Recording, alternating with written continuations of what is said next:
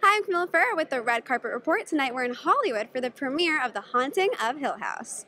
Fine. Honestly, I'm a really big fan. Hush. I watched probably seven times because I really like horror, but that specifically, that Yeah. movie, I kept making all my friends watch it. Good because it was written for us, like written for women who feel like they've lost their voice. And And I, so, it was, so how was that for you? I mean, you, were, you played a deaf woman. Like, I can't imagine how complicated that must have been. So how did you do that? well, I think it was important to uh, start with Maddie as a person who was deaf, not just play a deaf person, because that's when you start to get into character and you start to get into like representation issues.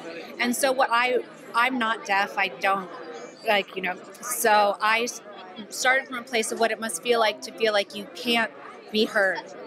And I think we all as women understand that, you know? And from there, I just relied on a really powerful crew and director to help me portray a deaf person. And, um, and it was really, it was quite the challenge. I have to say, it was really nice to be able to speak in Haunting of Hill House.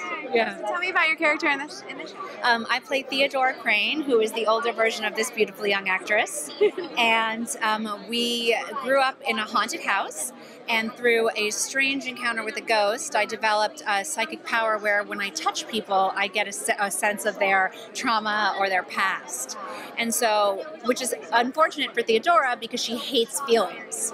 She just wants to be left alone to read a book and have some whiskey, but she's inundated with this trauma and these feelings. She's a middle child, so she's constantly being pulled back and forth between her siblings.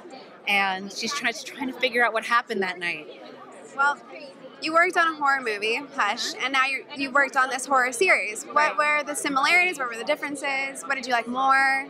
Um, I think there are a lot of similarities because it's a heightened experience. I did love the source material of this series. I think Shirley Jackson is an incredible writer, like a feminist icon, and an honor to be bringing her characters to life. And so, you know, with Hush, I had a hand in the writing of it, so I didn't have as much like awe for the creator as I did of the Shirley Jackson series. What was it like working with Mike Flanagan? I hear he's amazing. So He's amazing. He is um, a true horror fan, so you know you're in good hands and you won't be asked to do ridiculous horror movie things. He really knows what he wants, and that's very helpful, and he's very collaborative.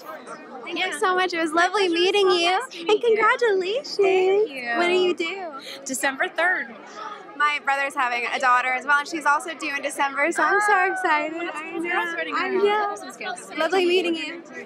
If you like this interview, give it a thumbs up, subscribe for more videos, and in the comments below, tell me what your favorite scary movie is.